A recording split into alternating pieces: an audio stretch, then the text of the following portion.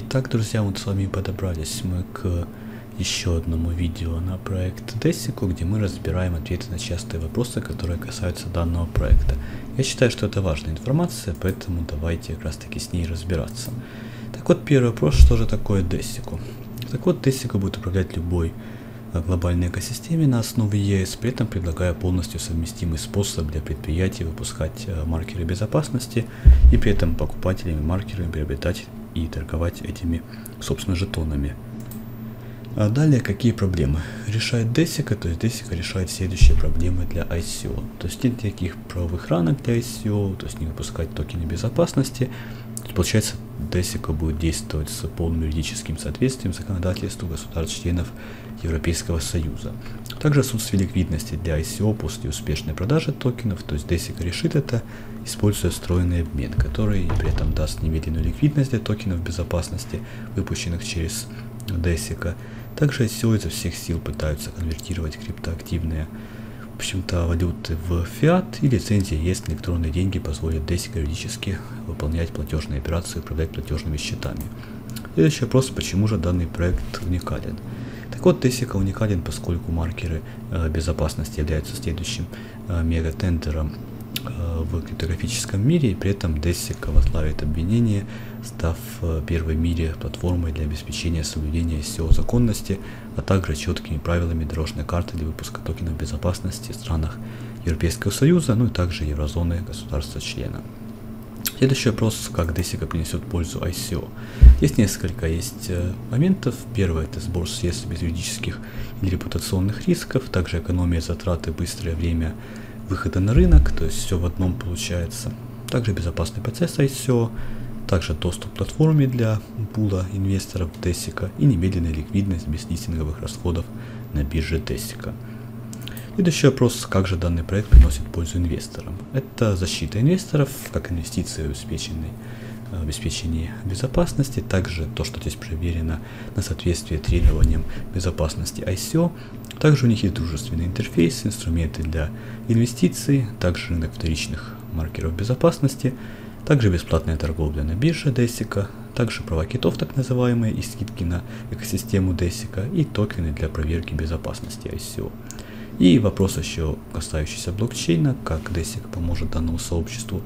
Так вот, одна из самых больших проблем, с которой в настоящее время сталкивается сообщество блокчейна, это, конечно же, отсутствие правовых различных э, рамок и регулирований. Понятно, что данное отсутствие правового регулирования будет означать то, что многие начинающие проекты на основе блокчейна не могут привлечь средства, и, естественно, многие инвесторы не решаются инвестировать в проекты на основе блокчейна, то что возникает риск, что они будут обманутыми. Когда будет четкая правовая среда и полностью законный метод выдачи токенов, э, в общем-то, допустим, в государствах-членах ЕС, э, то получается, что будут новые стандарты для широкого внедрения проектов на основе блокчейна в будущем. Теперь давайте разбирать Desica экосистему. Тут есть тоже несколько важных моментов. Так вот, ключевые компоненты Desica. Что же это такое? Это 5 разных компонентов. Первое, то, что платформа краудфандинг для выпуска маркеров безопасности есть. А, далее, встроенный обмен. Второе, третье, лицензия Европейского Союза e-money. Далее, глобальное сообщество Desica и полное соблюдение закона. Что же такое платформа Desica Crowdfunding? То есть э, Desica Crowdfunding это как раз таки краудфандинговая платформа, которая, собственно, позволяет, собственно, участвовать в ICO, используя, собственно, данный режим, то есть режим краудфандинга. Что такое обмен Desica? Обмен Desica тоже логично, что это, в общем-то, э, мгновенный обмен. И, естественно, что, в общем-то, они им будут пользоваться, что, безусловно, очень важно. Следующий вопрос про э, лицензию. Ну, здесь у них есть европейская лицензия, так называемые e-money. И, в общем-то, э, также важно, что у них есть международный банк, э, что, конечно же, тоже очень важно. Следующий вопрос про юридическую совместимость. Так вот, здесь тоже указано, что у них есть совместимость с Европейским Централбанком, э, что, конечно же, очень и очень важно. Далее разберем вопрос про сообщество Десика. Ну, сообщество Десика тоже тут простой момент. То есть, собственно, это команда людей, которые разрабатывали данный проект, данную платформу, выпускали этот токен и которые принимали в этом непосредственное участие. Uh, да, ну и команда Десика, то есть кто является командой Десика, на самом деле команду лучше разобрать отдельно, то есть она есть на главной странице сайта, там можете прочитать про каждого из этих людей, пускай так, что она была сформирована 2015 году, то есть три года назад, соответственно, и, в общем-то, это уже довольно опытный как раз таки коллектив. Следующий вопрос, какой опыт имеет данная команда? Ну, то, что я говорил уже, что у них есть э, опыт уже 4 лет э, работы в данной сфере, сфере блокчейна, да, прежде всего. Ну и также есть опыт работы в банковской сфере, в финансах, юридических вопросах, вопросах маркетинга и так далее. Далее вопрос насчет консультантов. Но опять-таки здесь э, разбирать этих людей не буду. То есть, в принципе, все это можно найти на главной странице сайта. Поэтому проще вам зайти туда и все это дело самим э, прочитать и изучить. Следующий вопрос про дорожную карту. Э, Desik, но опять-таки здесь та информация, которая, э, в общем-то, есть на главной страничке, поэтому мы ее обсуждать не будем. Я разбирал дорожную карту как и token sale, собственно говоря, в предыдущем видео, поэтому повторяться не хочется. Вот, э, поэтому движемся сразу с вами дальше. Следующий этап это почему Desico базируется да, в Литве.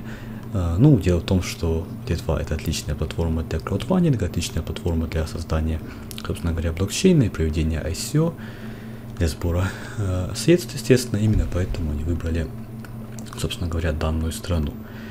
Следующий вопрос, имеет ли э, Десика юридическое лицо? А, так вот, э, да, Десика зарегистрирована э, во Франции, в Париже, если быть более конкретным, как юридическое фирма, можно сказать. И также можно связаться по электронной почте вот по данному адресу, если вас что-то заинтересовало. Ну и в принципе, если у вас есть какие-либо вопросы, на которых нет ответа на данной странице, то есть если вам что-то непонятно, то, конечно же, пишите, я уверен, что а, создатели данного проекта вам, безусловно, помогут и ответят на все, что вас интересует.